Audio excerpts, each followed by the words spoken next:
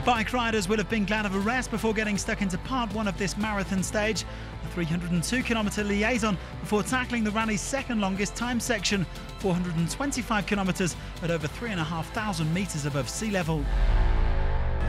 So high altitude rain and mud to deal with in this seventh stage, but that wasn't enough to dampen the local spirits at the start line.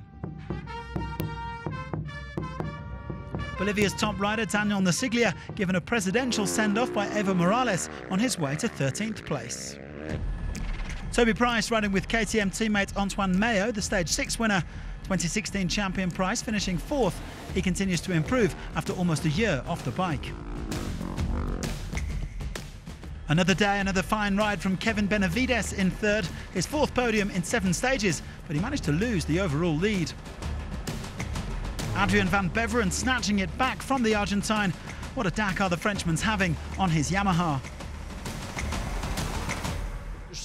Every day I try to do my best. I have no particular strategy to attack on specific days, for the time being. But it was a bittersweet day in the end for Joan Barreda, the stage winner.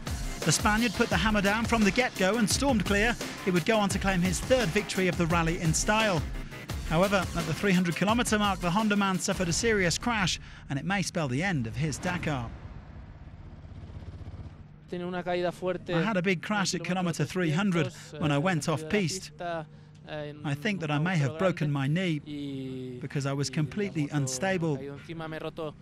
I'm in real pain. It was very difficult to ride after that. So we'll go back to the bivouac and we'll see what we can do.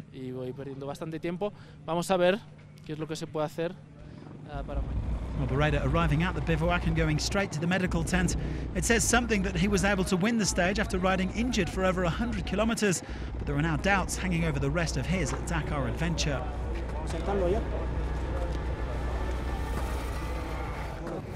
In the end, Barreda won by just under three minutes from Van Beveren and eight from Benavides, Price and Pablo Quintanilla, fourth and fifth. Van Beveren regains the race lead from Benavides, with Barreda closing the gap to 4.45. Matthias Walkner and Price make up the top five. Now, as the cars prepare to hit Bolivia's lush mountains, we've had five different stage winners out of six so far.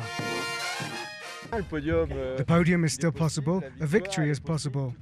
Anything is possible problems, breakdowns, retirement. Martin Prokop continues to run well in his Ford. The Czech driver was seventh overall at the start of the day, fifth quickest on the stage. The minis of Boris Garafulic and Jakub Przygonski looking very, very good today. The young Polish star posting the fourth quickest stage time. Good job. For de Villiers, the higher suspension and four-wheel drive of the Toyotas could make all the difference on these fast, muddy stages. This morning, the 13-time Dakar winner and rally leader Stephane Peterhansel decided to lead from the front, but this terrain is very different from the soft dunes for the two-wheel drive Peugeots and their lower suspension. And look, at 186 kilometers into the stage, he stopped broken rear suspension and shock absorber. That's the beauty of having the third Peugeot of Cyril Despres still running. The French Dakar legend has stopped to help his senior teammate. The engineering skills of all four are tested. Co-driver Jean-Paul Cottret and David Castera turning mechanics to help. There were massive puddles. There was a biker stopped and we wanted to pass on the left quite fast. We didn't see anything, but there was a massive rock and it destroyed the back of the car.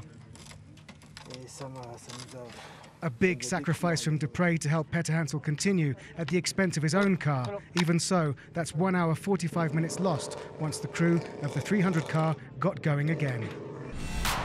And then there was one. Remember, since his win in 2010 and a third place in 2011, Carlos Sainz has failed to finish the Dakar all five times. This is his chance to keep it on the road and maybe take a historic win on the last event for the Peugeot factory team. He wins the stage.